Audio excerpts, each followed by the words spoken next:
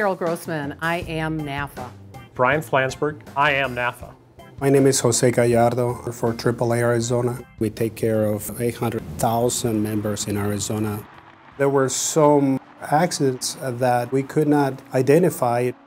I used the models in NAFA being recognized as the industry standard, and we learned that there was a trend that basically 80% of our vehicles accidents were related to following too close. That's an issue. When we start looking at the data a little bit closer, we learned the other 20% was about hitting items in parking lots, for example, basically not moving objects. So what we learned is that I need money because our fleet needs to be refreshed. What NAFA has done for me is really bridge the gap if the decision makers there on the fence and you show an analysis from NAFA that supports your case, it's actually pretty good getting them to the finish line. This is what fleet managers are using around the world. So we got the systems in our fleet. And now that alone has reduced almost 90% of our accidents related to following too close.